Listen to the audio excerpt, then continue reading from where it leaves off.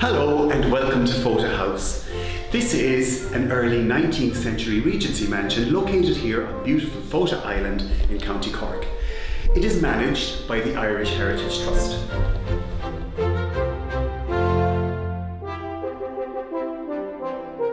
There are four staircases in the house and this is the principal one.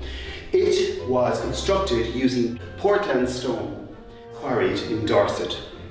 It's a cantilevered staircase which means that one edge of the steps is supported by the surrounding walls and therefore no supporting columns are required underneath the staircase.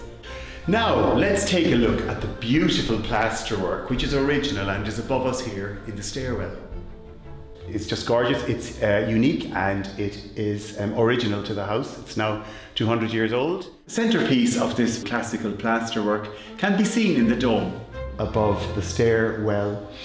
Uh, what it does is it gives height to the staircase, but also it reminds the family that when they pass on to the next life, they are only going in one direction and that is upwards towards the heavens.